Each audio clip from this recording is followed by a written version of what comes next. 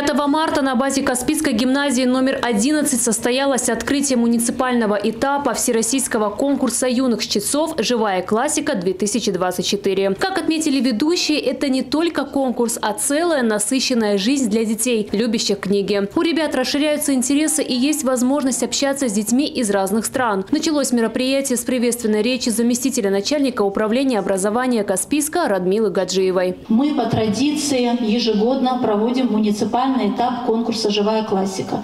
Как уже сейчас сказали, конкурс э, носит формат международного конкурса. Это мощный масштабный проект, в котором участвуют э, молодые чтецы не только нашей необъятной страны, но и э, из порядка 80 стран.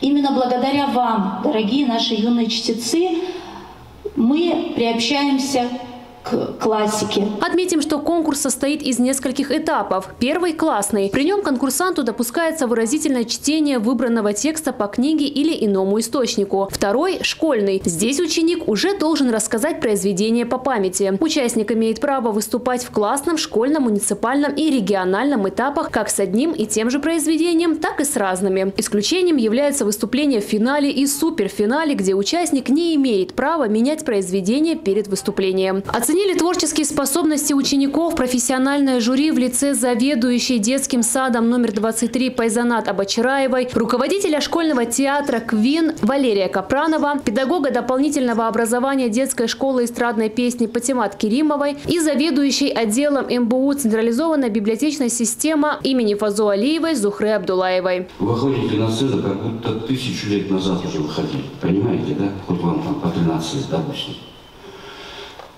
это просто какое-то очередное ваше выступление.